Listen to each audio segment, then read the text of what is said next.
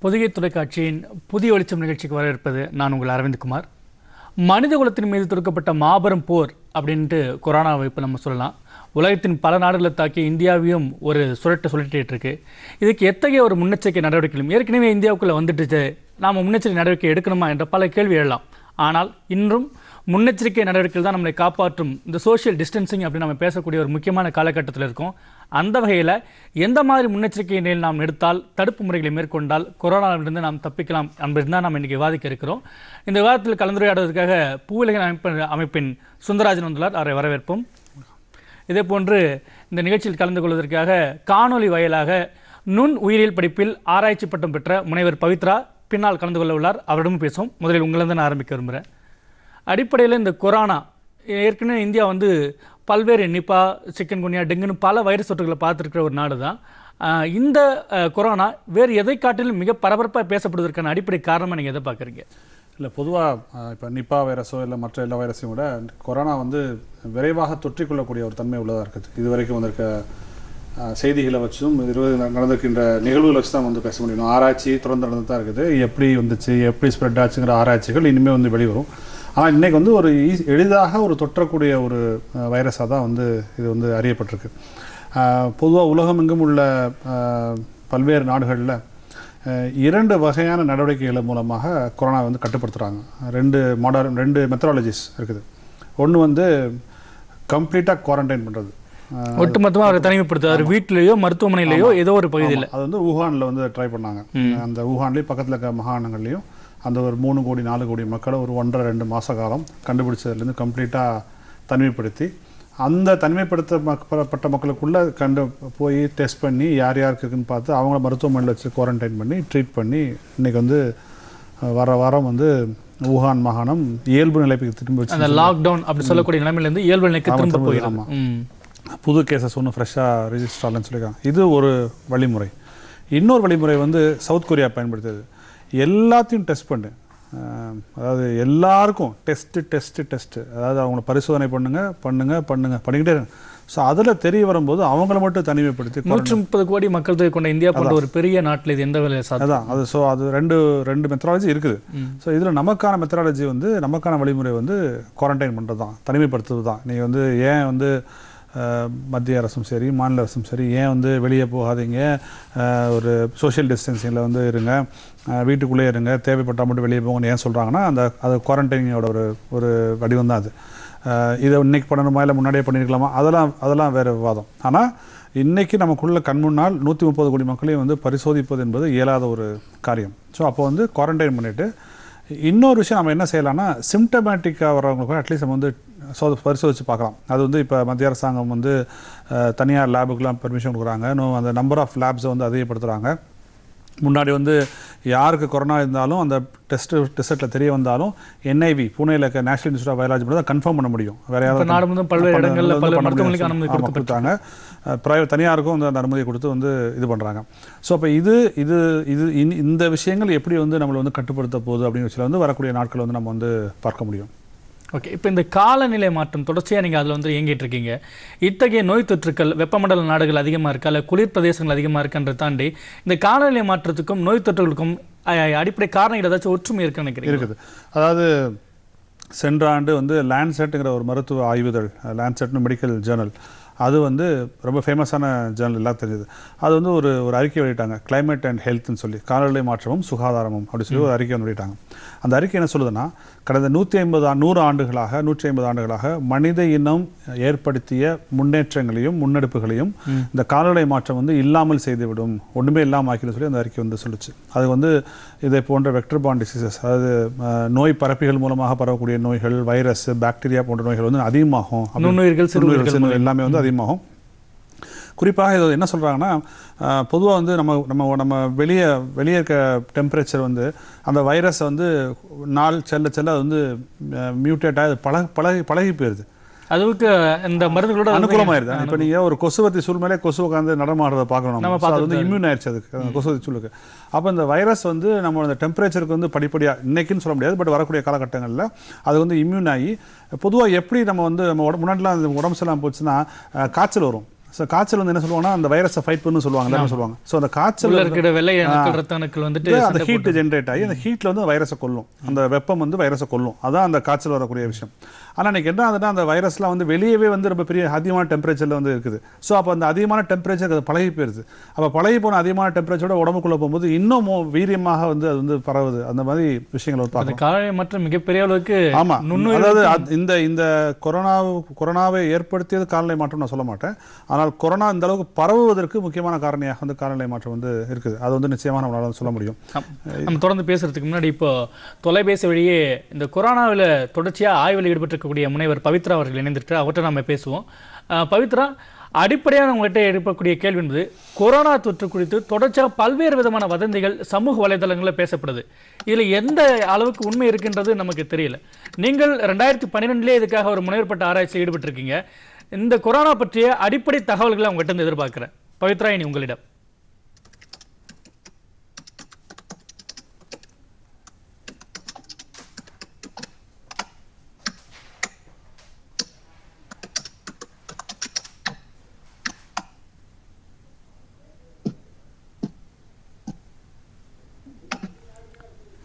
தொழில்நுட்ப சிக்கல் காரணமாக நம்ம தொடர்ந்து பேசுவோம்? இணைப்பில் இருக்கிறீங்களா? பவித்ரா நான் இங்கே பேசுறதுனால பேச முடியல. கேட்க முடியல. நம்ம தொடர்ந்து பேசுவோம். சுந்தரராஜ் நம்ம பேசிட்டு இருக்கும்போது இந்தியாவில் எத்தகைய நடவடிக்கைகள் அதாவது இத்தாலியில் நம்ம நம்ம நடந்துக்கிட்டு வரக்கூடிய பார்க்குறோம் ஊகான்லேயும் நடந்துட்டு இருக்க பார்க்குறோம் நம்மளுடைய பொதுமக்களுக்கு எந்த அளவுக்கு அதோடைய வீரியம் புரிஞ்சிருக்கு. இல்லாட்டி எந்த அளவுக்கு சோஷியல் டிஸ்டன்சிங்ன்றத அரசுகள் சொல்கிறத எல்லாவற்றுக்கும் அரசை குறை சொல்வதை தாண்டி எந்த அளவுக்கு இந்த மக்கள் இதனுடைய கொரோனாவோட பாதிப்பு உள்வாங்கி இருக்கிறாங்க அரசுகளுடைய விதிகளை எந்த அளவுக்கு அவங்க வந்துட்டு சரியாக பின்பற்றாங்கன்னு நினைக்கிறீங்க? இல்ல இல்ல இதுல ஒரு நம் நம்ம இந்திய சமூக சமூகத்துக்கு ஒரு பெரிய பங்கு அதாவது இந்திய சமூக கட்டமைப்புக்கு ஒரு பெரிய பங்கு இருக்குது நம்மளுடைய மக்களுக்கு உதாரணமா நம்ம மக்கள் நம்ம மக்கள் தொகையில கிட்டத்தட்ட எழுபத்தஞ்சு எண்பது சதவீதம் பேர் வந்து ஒரு முறைசாரா தொழில் வேலையில தான் இருக்காங்க அதாவது அன்னார் விவசாயம். விவசாயம். ஆட்டோக்காரங்க கட்டுமான தொழிலாளர்கள். கட்டுமான தொழிலாளர்கள் ஆட்டோ ஓட்டுறவங்க மீன் விற்கிறவங்க பூ விற்கிறவங்க சிறு வியாபாரிகள் காய்கறி விற்கிறவங்க இவங்க தான் அதிகமான மக்கள் தொகை கொண்ட ஒரு நாடு நம்ம. அப்போ இவங்க எல்லாருக்குமே வந்து நான் நேற்று காலைல கூட நான் வந்து வீட்டில் இறால் வாங்கினப்போ நான் அந்த அக்காட்ட கேட்டிருந்தேன்.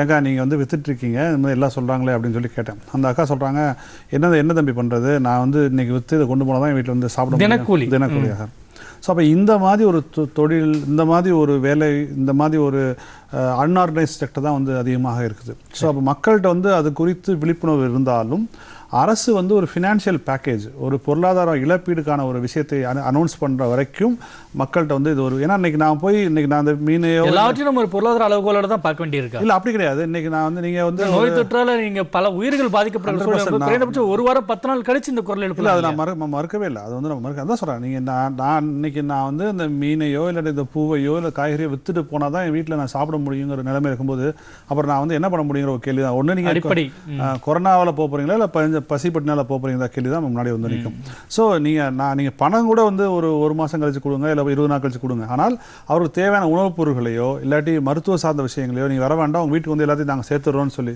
அதாவது நீங்கள் இந்த இந்த கடையில் போய் வாங்கிக்கலாம் சொல்லி நீங்கள் சேர்க்கறது கூட நூற்றி முப்பது கோடி மக்களுக்கு சிரமமான விஷயமா இருக்கலாம். நாங்கள் ஒவ்வொரு ஏரியாவுக்கும் ஒரு கடையை வந்து டெசிக்னேட் பண்ணிடுறோம்.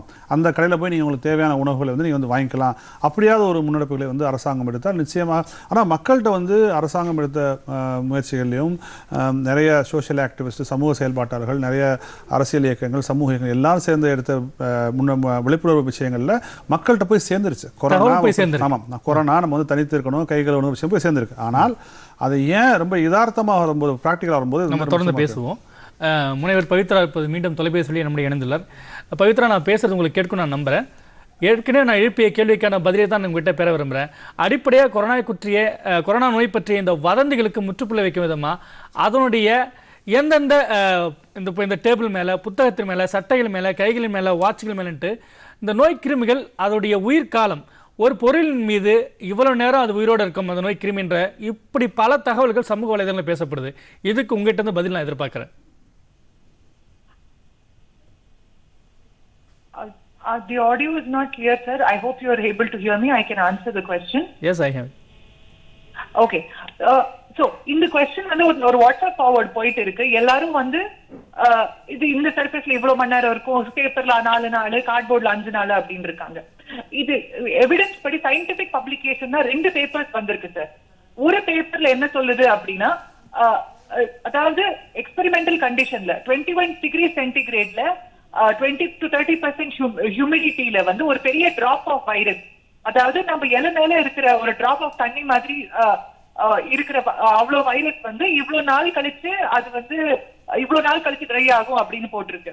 இதே எக்ஸ்பெரிமெண்ட்ல அவங்க என்ன பண்ணாங்க அப்படின்னா இதே temperature twenty one டிகிரிஸ்ல ten to twenty percent relative ஹியூமிடிட்டியில வந்து அது கொஞ்சம் அதாவது நம்ம எச்சல் தெரிக்கிற அளவுக்கு ஒரு டிராப்லைட் போட்டு எவ்வளவு வைரஸ் சர்வைவ் ஆகுது அப்படின்னு பார்த்தாங்க.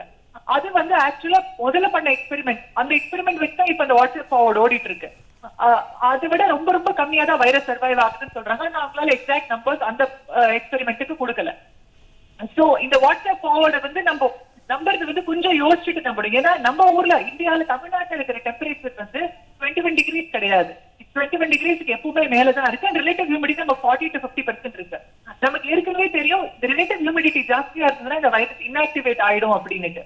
சோ இந்த ஃபார்வர்ட் வந்து நீங்க இந்த ஃபார்வர்ட்ல வரதை விட நம்ம ஊர்ல வந்து வைரஸ் சர்வைவ் ஆகுற டைம் வந்து கம்மியா தான் இருக்கும் நம்ம தொடர்ந்து பேசுவோம் பவித்ரா. புதிய தொலைக்காட்சியின் புதிய வெளிச்சம் நிகழ்ச்சியில் ஒரு சிறிய விளம்பர இடைவேளை.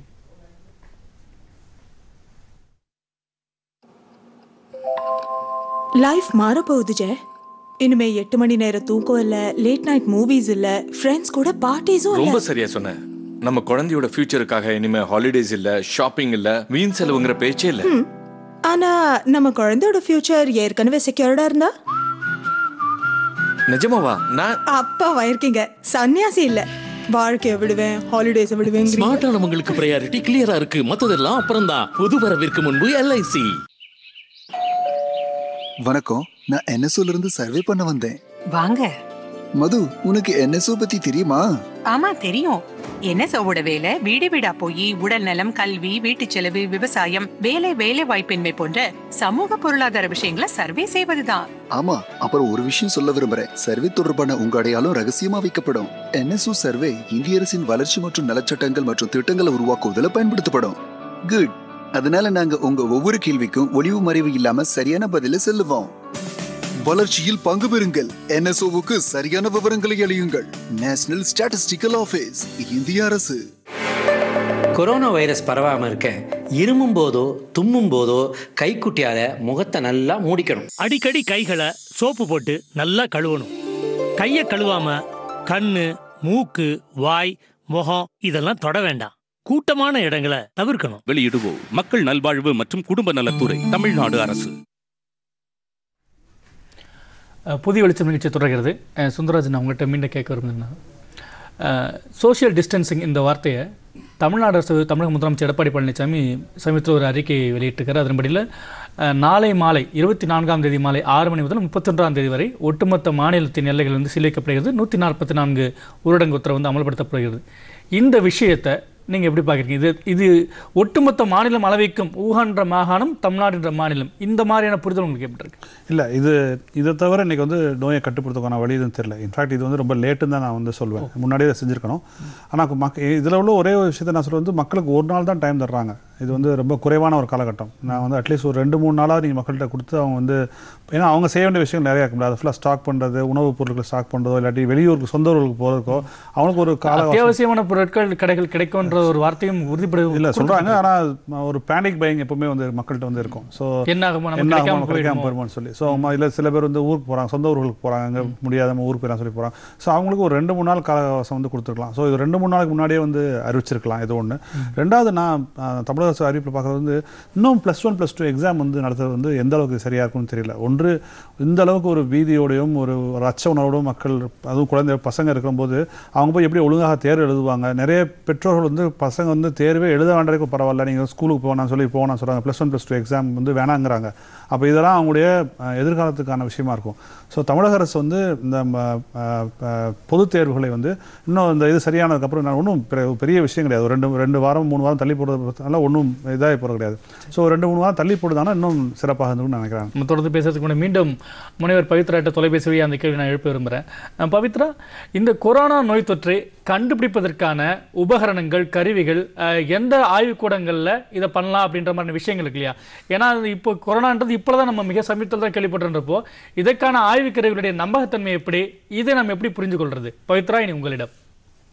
ஓகே தேங்க்யூ சார் இது ரொம்ப இம்பார்ட்டன்ட் கேள்வி. ஏன்னா எல்லாருமே சொல்றாங்க இந்தியால டெஸ்டிங் போடல டெஸ்டிங் போடல அப்படின்னுட்டு.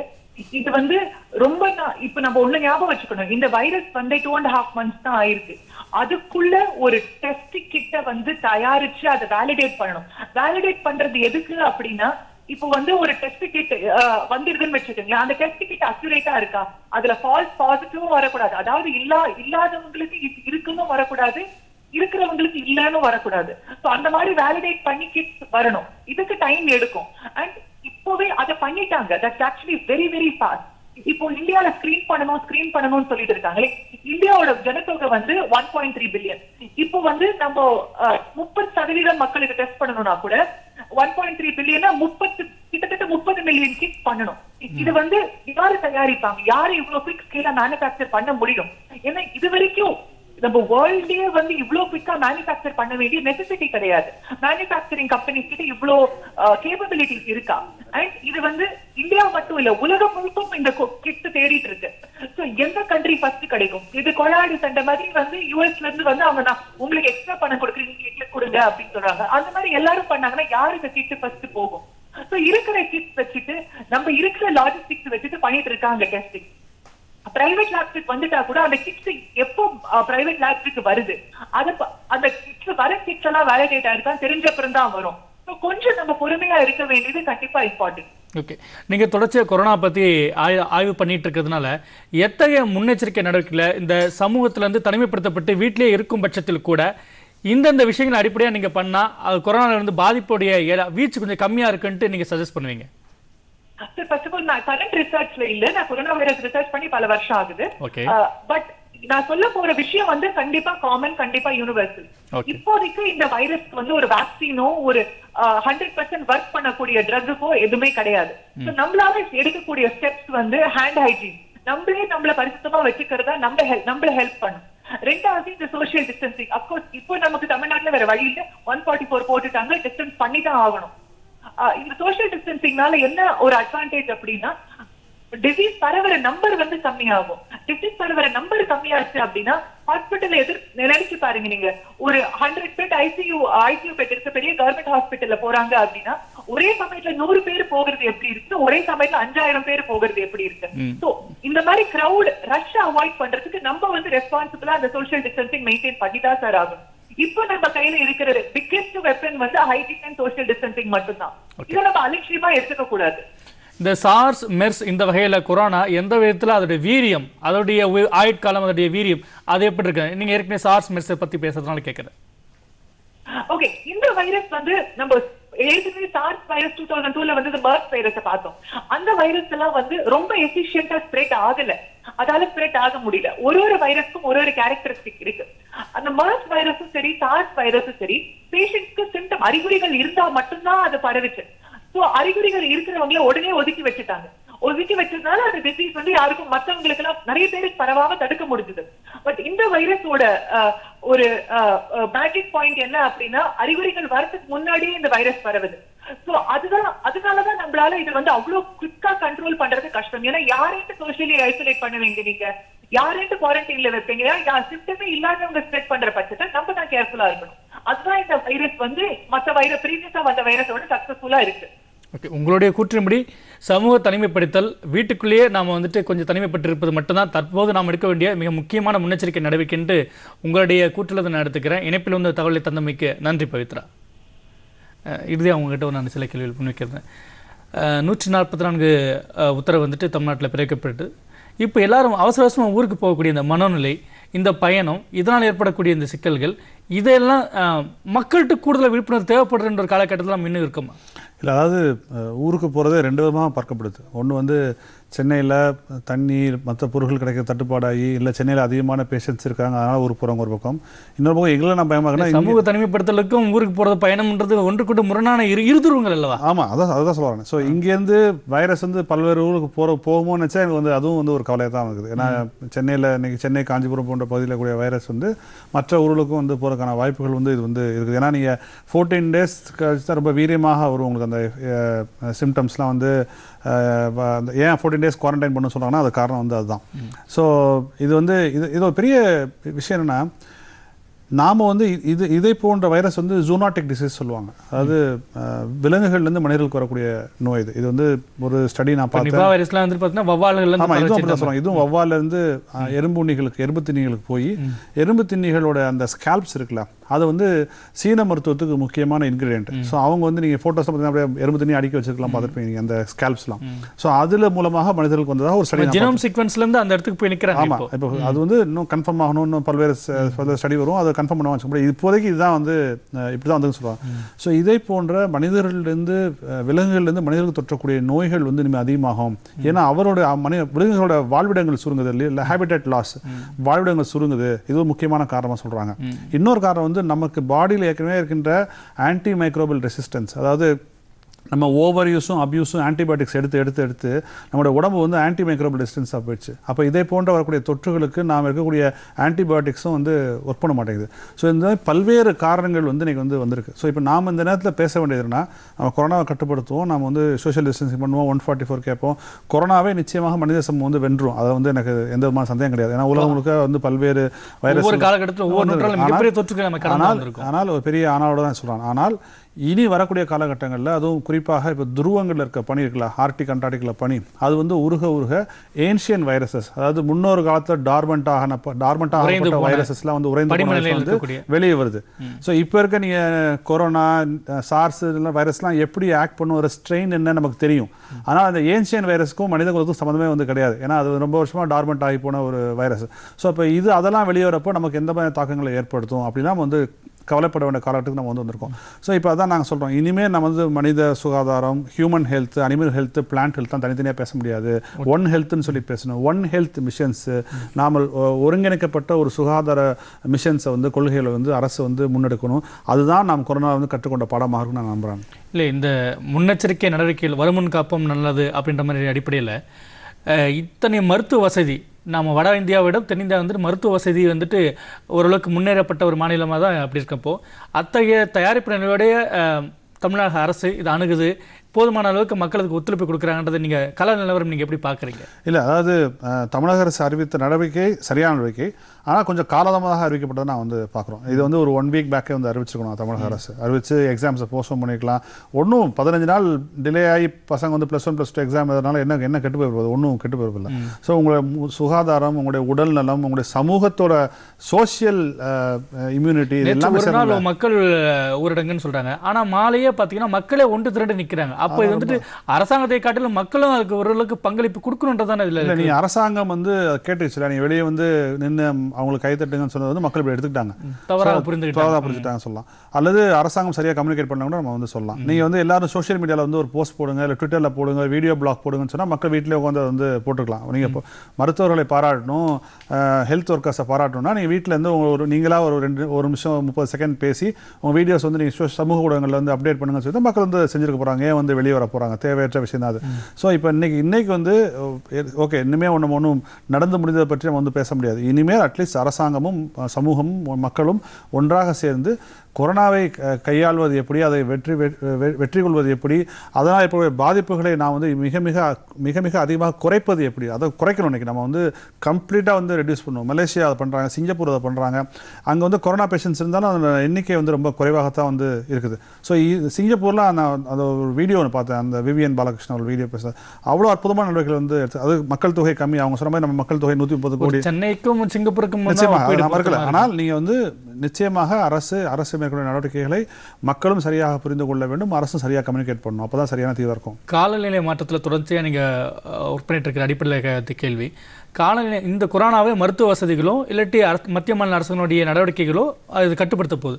காலநிலை மாற்றத்துக்கு இணையாக இதை வச்சு பேசும்பொழுது இதெல்லாம் நம்ம பண்ண வேண்டியிருக்கு. எப்படி நம்ம மரம் வைத்தால் மழை வருன்ற ஒரு நம்பிக்கை இருக்கோ ஒரு புரிதல் இருக்கோ ஒரு அறிவியல் கூற்று இருக்கோ அது போல் இனிமேல் இத்தகைய விஷயம் நம்ம நடவடிக்கை எடுத்தால் தான் இத்தகைய இத்தகைய நோய் தொற்றுகளை நம்ம வந்து தவிர்க்க முடியுன்றதுக்கான அடிப்படையாக நீங்கள் என்ன சொல்லுங்கள் முக்கியமாக நாம் செய்ய வேண்டியது வந்து இதை போன்ற ஒரு ஆய்வுகளை மேற்கொள்வதற்கான கட்டமைப்புகளை உருவாக்கணும். நம்மகிட்ட கிடையவே கிடையாது. ஜுனாட்டிக் டிசீசஸ் நம்ம சொல்கிறோமே அதுக்கான ஆய்வுகள் எங்கே நடக்குது நமக்கு? ஏதோ ஒரு லேப் வச்சுருக்காங்க வெட்டினரி யூனிவர்சிட்டியில் அவ்வளோதான் ஒழிய இந்த animal health plant health human health நான் சொன்னல இந்த ஒருங்கிணைக்கப்பட்ட ஒரு சுகாதார துறைங்கிறது உருவாக்கப்பட வேண்டும். டீஃபாரஸ்டேஷன் அதாவது காடழிப்பு வந்து நிச்சயமாக தடு தடுத்து நிப்பாடப்படும் ஏன்னா நீங்கள் டீஃபாரஸ்ட் பண்ண பண்ண அந்த அந்த மனிதர்கள் வந்து அவங்க வெறும் விலங்குகள் வாழக்கூடிய பகுதிகளில் வந்து போயிட்டே இருக்கும். ஸோ அப்போ அந்த இருக்க வைரஸ் வந்து நமக்கு வந்து வரத்தான் செய்யும். அவரோட வாழ்விடங்கள் சுருங்க சுருங்க வெளியே வந்து மக்களுக்கான வைரஸ் வந்து வரதான் போகுது. ஸோ டீஃபாரஸ்டேஷன் இந்த இந்த சுற்றுச்சூழலை கெடுக்கக்கூடிய திட்டங்களை வந்து நாம் கைவிடுவது போன்ற பல்வேறு அதாவது காலநிலை மாற்றத்தை நீங்கள் ஒரு ஒருங்கிணைந்த ஒரு பார்வையில் வந்து கட்டுப்படுத்தாமல் மட்டுப்படுத்தாமல் நீங்கள் இதை போன்ற வைரஸ் கிருமிகளை கையாள்வது என்பது ரொம்ப ரொம்ப சிரமமான விஷயமாக மாறிவிடும் எதிர்காலத்தில். ஓகே கொரோனா நோய் திருமை நோய்க்கிருமி இந்த நோய் தொற்று வந்துட்டு வெறும் விளையாட்டாக எடுத்துக்கொள்ளாமல் மத்திய மாநில அரசுகள் அறிவிக்கக்கூடிய அனைத்து விஷயங்களுக்கும் மக்களும் ஒத்துழைப்பு தந்தால்தான் வருமுன் காப்போம் அப்படின்ற ஒரு முதுமொழிக்கு ஏற்ப கொரோனா நோய் தொற்றை தமிழ்நாட்டில் மேலும் பரவாமல் தடுக்கிறதுக்கான வழிகள் நமக்கு கிடைக்கும். இந்த நிகழ்ச்சியில் கலந்து கொண்ட விருந்தினருக்கு நன்றி. நேர்களுக்கு வணக்கம்.